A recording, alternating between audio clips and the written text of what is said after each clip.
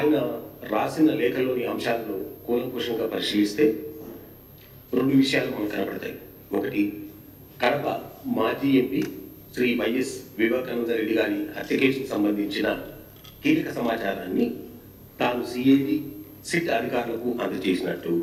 అయితే అతి కీలక సమాచారం ఏ మేరకు వినియోగించుకున్నారో తనకు తెలియదని ఒక అంశాన్ని. రెండో అంశం ఈ హత్య కేసుకు సంబంధించి తన వద్ద ఉన్న సమాచారాన్ని అందజేస్తానని CBI CBI joint director N N Singh గారికి ఫోన్ ద్వారా రెండు సార్లు తెలియజేసినప్పటికీ సంవత్సర కాలంగా వాళ్ళు సరైన విధంగా స్పందించలేదని డీజీ స్థాయి అధికారి కేసు దర్యాప్తులో సమాచారం ఇస్తానన్నప్పటికీ సముఖత చూపలేకపోవడం శోచనీయమని సిబిఐ అధికారులు కూడా తప్పుపట్టారు. అయితే వారు పేర్కొన్న అంశాలలో అసలు వాస్తవాలు ఏంటో మనం చూద్దాం. ఎంపీ వైఎస్ వివేకానంద రెడ్డి గారి హత్య మార్చ్ పద్నాలుగు అర్ధరాత్రి పదిహేను తెల్లారుజామున మధ్యలో జరిగింది. అయితే అప్పటి ఇంటెలిజెన్స్ చీఫ్గా ఉన్న ఏబి వెంకటేశ్వర గారు సమాచారం అందుకున్న మరుక్షణం నుంచి స్థానిక పోలీసులు CID SIT intelligence counter intelligence విభాగాల అధికారులకు అప్పటి డీజీతో కలిసి అనుక్షణం ఆదేశాలు జారీ చేస్తూ దర్యాప్తు మొత్తం ఆయన కన్సల్లోనే జరిగిన విషయం మీ అందరికీ తెలిసిందే.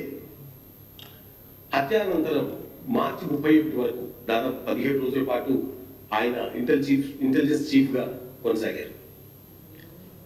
ప్రతిరోజు ముఖ్యమంత్రి కాంప ఆఫీస్లో ఈ కేసు వివరాలను ముఖ్యమంత్రి గారికి అప్పటి ముఖ్యమంత్రి గారికి మరియు డీజీతో పంచుకోవడం చర్చించడం కేసు పురోగతిని సమీక్షించడంతో పాటు దర్యాప్తు ఎలా ముందుకు వెళ్ళాలి అనే దానిపై అధికారులకు పూసుగుచ్చినట్టు ఆదేశాలు జారీ చేసేవారు. అప్పటి గౌరవ ముఖ్యమంత్రి సైతం ఏబీబీ గారు అందించిన వివరాలను రోజువారీ మీడియాకు కూలంకుషంగా వివరించారు అలా దర్యాప్తు మొత్తం ఏపీ వెంకటేశ్వరరావు గారి కన్సల్లోనే జరిగింది. వారు తాను మార్చ్ థర్టీ ఫస్ట్ వరకు అనగా బదిలీ అయ్యే చివరి నిమిషం వరకు దర్యాప్తును ప్రత్యేకంగా పర్యవేక్షిస్తూనే ఉన్నారు. అధికారులకు ఆదేశాలు జారీ చేస్తూ ఉన్నారు. వారి అట్టి పరిస్థితుల్లో తాను ఇచ్చిన కీలక సమాచారాన్ని సిట్ లేదా సిఐడి ఏ మేరకు ఉపయోగించుకుందో అనే సందేహాన్ని వెలిబుచ్చడం ఆశ్చర్యంగా ఉంది హాస్యాస్పదంగా ఉంది. ఏదైనా కీలక సమాచారం ఉన్నా వారు ఆ సమాచారాన్ని అప్పుడే సెట్టుకు ఎందుకు ఇవ్వలేదో వారికి తెలియజేయాలి. హత్య జరిగిన తర్వాత కూడా ఆ ప్రభుత్వమే మూడు నెలలు అధికారంలో ఉంది. ప్రస్తుత ప్రభుత్వం అధికారంలోకి వచ్చిన తర్వాత దాదాపు తొమ్మిది నెలల పాటు సిట్ దర్యాప్తు కొనసాగింది. ఆ సమయంలోనైనా అట్టి కీలక సమాచారాన్ని దర్యాప్తు అధికారులకు ఎందుకు ఇవ్వలేదో వారే వివరించాల్సి ఉంటుంది. నిజానికి వారు వివేకానంద రెడ్డి హత్య జరిగిన మొదటి నుంచి వాస్తవాలను బయటికి తీసే విషయాన్ని పక్కన పెట్టి ప్రస్తుత గౌరవ ముఖ్యమంత్రి జగన్మోహన్ రెడ్డి గారి కుటుంబ సభ్యులను బంధువులను అరెస్ట్ చేయమని అప్పుడు ఎస్పీకి ఇతర ఇతర అధికారులకు ఆదేశాలు జారీ చేసిన మాట వాస్తవమా కాదా చెప్పాలి. అంటే అప్పటి ఎస్పీని ఇతర విభాగాలను తీవ్ర ఒత్తిడికి గురి చేసిన మాట వాస్తవమా? కాదా? చెప్పాల్సి ఉంది.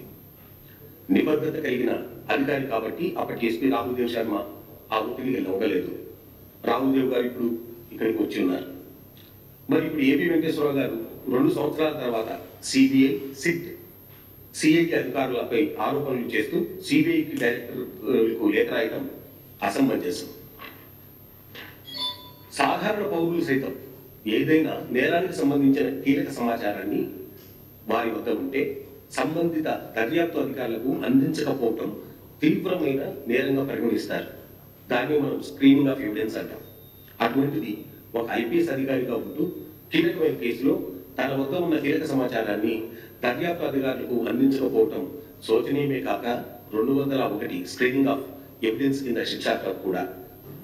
నిజంగానే తన వద్ద హత్య కేసుకు సంబంధించిన కీలక సమాచారం ఏదైనా ఉన్నట్లయితే రాతపూర్వకంగా సీల్డ్ కవర్లో సిబిఐకి అందించాల్సి ఉంటుంది. కానీ కేవలం ఈ కేసుకు సంబంధించిన విషయాలను ప్రస్తావిస్తూ గత సాధారణ ఎన్నికల్లో సైతం గౌరవ హైకోర్టు మార్చి థర్టీఎత్న గ్యాగ్ ఆర్డర్ ఇచ్చేంత వరకు ఏబీవీ గారు ఇచ్చిన సమాచారం అప్పుడు ఎప్పటికప్పుడు ప్రతిరోజు పాల్పంచుకునేవారు ఈ విషయంలో గ్యాగ్ ఆర్డర్ కూడా మార్చ్ థర్టీ ఫస్ట్ థర్టీఎత్న గ్యాగ్ వచ్చిన తర్వాత ఈ కేసుకు సంబంధించిన విషయాలు మీడియాలో రావడం మానేశాయి.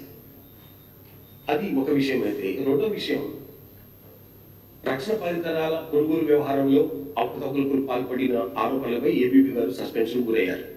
ఆ కేసులో ఏబీబీ గారు పై కమిషన్ ఆఫ్ ఎంక్వైరీ ఇటీవల కాలంలో పదిహేను రోజుల పాటు విచారణ చేసిన విషయం మీ అందరికీ తెలుసు.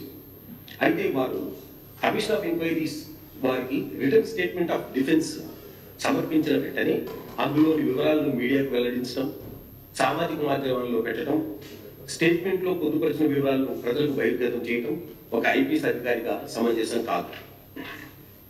వారు ఈ క్రమంలో రాష్ట్రంలోని చాలా మంది ఐఏఎస్ ఐపీఎస్ అధికారులపైన పలు తప్పుడు ఆరోపణలు చేశారు.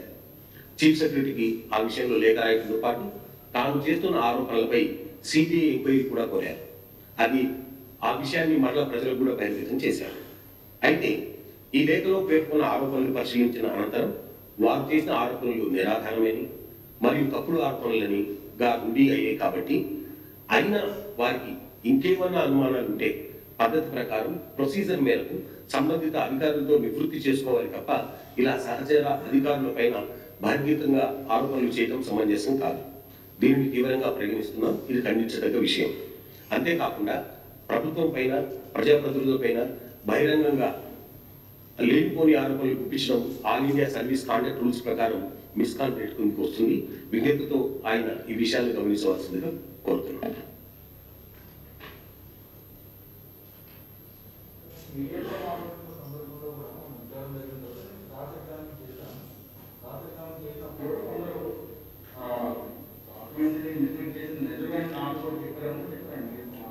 మాట్లాడుతున్నారు. అది అవి అంతర్గత విచారణ మేము చేసిన చేసిన తర్వాత ఆయన చేస్తున్న ఆరోపణలు ఎటువంటి నిజానిజాలు లేవు నంబర్ వన్ నంబర్ టూ విచారణ అనేటువంటిది కాశీ జ్యుడిషియల్ ఫంక్షన్ ఏ విధంగా అయితే కోర్టుకు మనం మన ఆధారాలన్నీ సమర్పిస్తామో ఫస్ట్ ఇన్ఫర్మేషన్ ఎవరికి వెళ్ళాలి? కోర్టుకు వెళ్ళాలి. సో కాశీ జ్యుడిషియల్ ఫంక్షన్లో పనిచేస్తున్న కమిషన్ ఆఫ్ ఎంక్వైరీస్కి డిఫెన్స్ అనేది ప్రాథమిక. దాంట్లో ఏ అభ్యంతరం లేదు.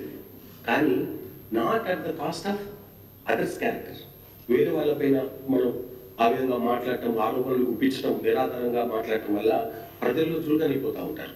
ఎస్ యూ ఆయనకు డెఫినెట్గా రైట్ ఉంది. ప్రాథమిక హక్కు ఆయనకు ఉంది. కానీ అట్ ద సేమ్ టైం ఈ commission of enquiries constitution function చేసేటప్పుడు వాటిని రకరకాల ఆరోపణలు మరియు మిగతా ఆఫీసర్ల పైన ఐఏఎస్ ఐపీఎస్ ఆఫీసర్ల పైన గుప్పించడం అనేటువంటిది అది సమంజసమైన విషయం అని మేము భావిస్తాం ఈ వీడియో గనక మీకు నచ్చినట్లయితే లైక్ చేయండి షేర్ చేయండి. మరిన్ని వీడియోస్ కోసం మా ఛానల్ను సబ్స్క్రైబ్ చేయండి.